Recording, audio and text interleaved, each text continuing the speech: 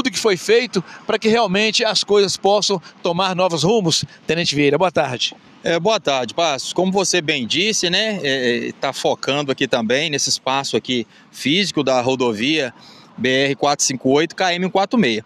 É, diante de estatísticas né, relacionadas a sinistros de trânsitos, né, aqui na área central de Ipatinga, a gente, né, com base nesses números, a gente suprimiu alguns retornos. Né? Nós da Polícia Militar Rodoviária, né, trabalhamos junto, né, por meios de convênios, né, com o DENIT, né, que é o Departamento de Infraestrutura de Trânsito, né, uma autarquia é, federal. Então a gente desenvolve durante né, as nossas ações né, é, modelos aí de, de sinalização com vistas aí a reduzir os sinistros. Então essa supressão desse retorno aqui foi com vistas à prevenção